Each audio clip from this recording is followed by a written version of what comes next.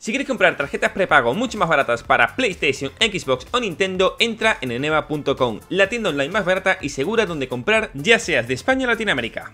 Muy buenas chavales, Caramelo y estamos en Rainbow Six Siege. Y antes de empezar con este nuevo vídeo, en este caso una guía, pediros un reto de 3000 likes para el siguiente, porque ya va empezando a llegar la época en la que YouTube empieza a notificar mucho menos, empiezan las visitas a caer que te cagas y por eso os pediría que, oye, como a vosotros no os cuesta nada, darme un buen like, ¿vale? Porque así, al menos, aunque YouTube va a seguir sin notificar, pues a mí al menos me alegra un poquito, así que por favor, un retito de 3000 likes, ya sabéis que los likes no sirven para nada actualmente, pero bueno, es para yo saber que por lo menos estáis aquí conmigo apoyándome, y en fin, la pregunta que más salió hace unos días cuando os pregunté por la sección de comunidad y por Instagram fue la de, Caramelo, ¿y si haces una guía, en este caso, de los cañones? Porque muchas veces tengo un arma y no sé si ponerle este cañón o ponerle este otro. Pues bien, vamos a ir a ver el personaje que más, en este caso, más cañones tiene para que lo pillemos de ejemplo. En este caso es Goyo, o en este caso también podría ser Mira, y tenemos en el juego 5 cañones. Cada uno sirve para una cosa, ¿vale? No significa que porque tu amigo utilice este va a ser mejor que, que esta cosa. No, cada uno tiene una función.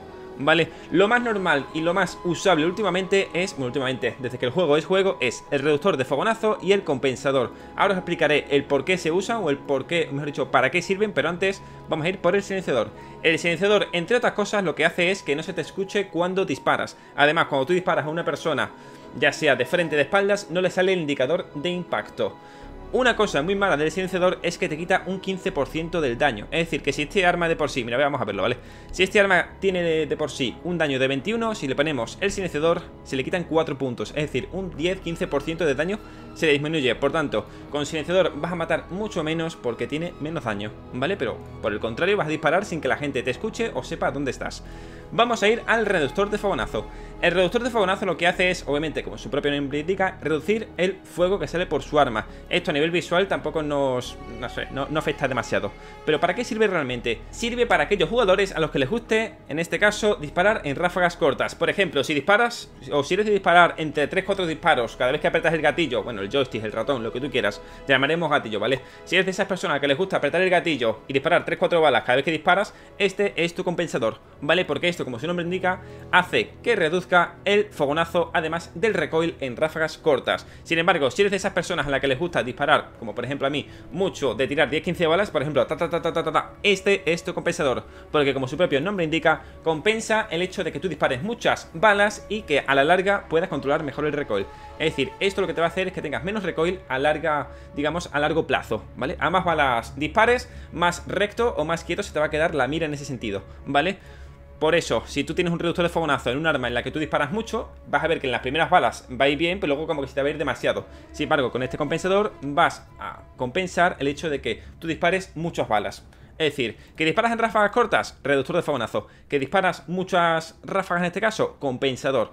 Ahora bien, entonces, si hemos descubierto que esto sirve para silenciar y digamos que te quite daño, esto para que, bueno, para que dispares en ráfagas cortas y esto, digamos, en ráfagas largas, ¿para qué sirven estas?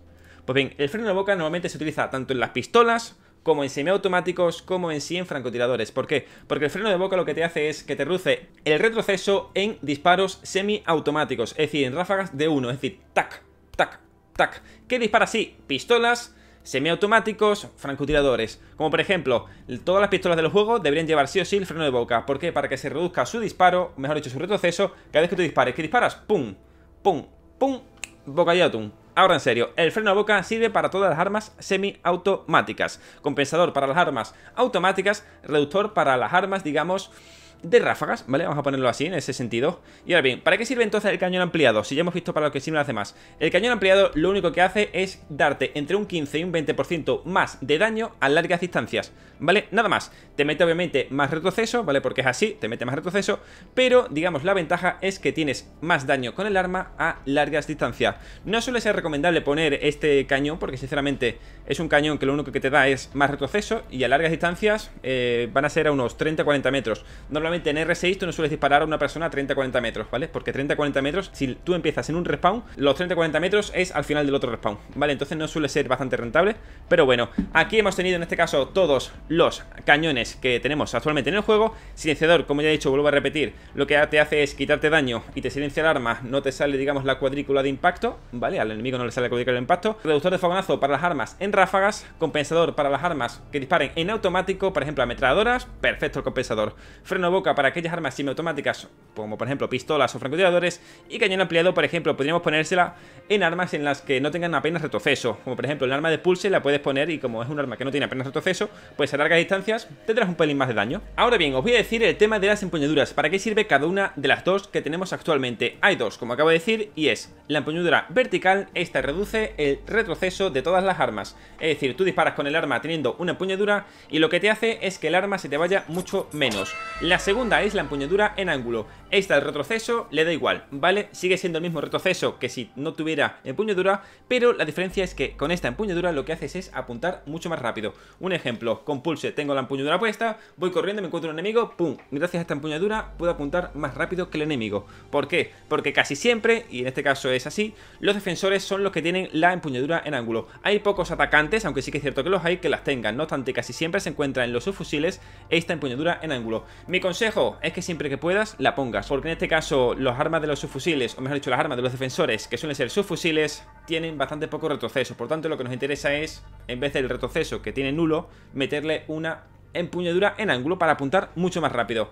En mi caso tengo puesto en la G36 la empuñadura en ángulo. ¿Por qué? Como he dicho, si tiene ese arma poco retroceso, ponle una empuñadura en ángulo si es posible. ¿Vale? En este caso, como he dicho, es lo suyo porque este arma no tiene apenas retroceso y lo que te hace es apuntar mucho más rápido. La R4C en este caso no la tiene. ¿Qué tiene? La empuñadura vertical, es decir, para disminuir ese retroceso. Así que nada, mi gente, vamos a ir dejando por aquí este vídeo. Os dejaré ahora con un gameplay de fondo, a ver si sois capaces de averiguar qué empuñadura tengo y qué cañón tengo en cada arma. Estaré jugando, intentaré jugar con cada arma una arma diferente en cada ronda. Así que nada, un retito de 3000 likes para más guías como esta y dejadme abajo en los comentarios qué guías queréis que traiga en el próximo vídeo. Lo he dicho, 3000 likes para el siguiente, un placer y hasta ahora.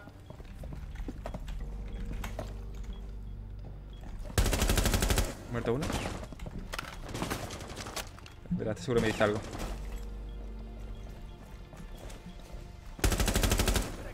Un tío arriba.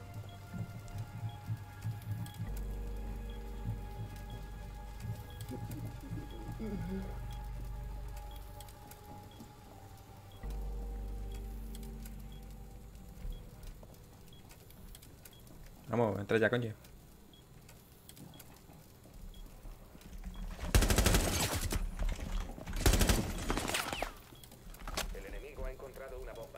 Que le van a pavo este. ¿Va por fuera? Sí. Vale, ¿cuál entra primero? ¿Ventana? ¿Puerta? Tú dices, Pablo, ¿ventana o puerta? No lo estoy viendo, ventana.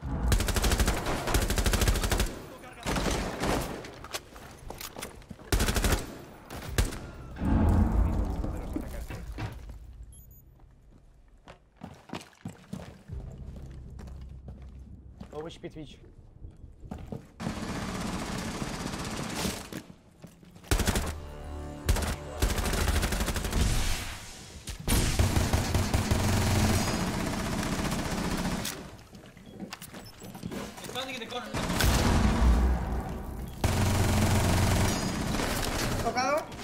Traseras, Pablo. Era loco. ¡Joder! ¿Dónde? ¿Está matado? Desde escalera, no sé si se habrá ido. Faltan 15 segundos.